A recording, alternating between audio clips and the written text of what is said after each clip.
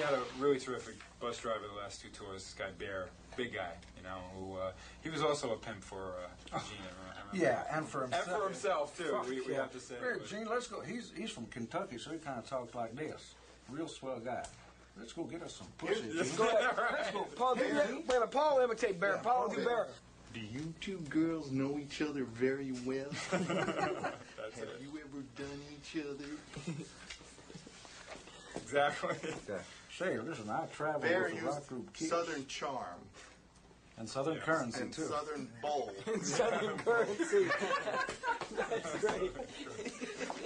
I got this really cool shirt. I looked out in the audience one night and I saw this guy with my face as big as this shirt in makeup. And I wore it for I don't know how many shows. I mean, it was one of my favorite shirts.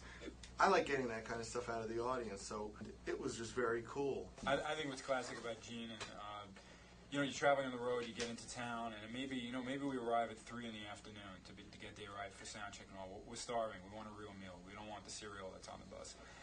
And the restaurant's closed. There's only room service. Gene likes to sit down and be served. You know, so you know some of us sometimes follow him in there. We figure, well, maybe he'll pull pull his weight around. Literally. back of him. And the waiter, you know, they don't want to serve us because the restaurant's closed. And you know, Gene says a couple intimidating things, and the next thing you know, we're- we're getting service. I'll blow your fucking place apart. Now, what is it, lunch or your hotel dollars?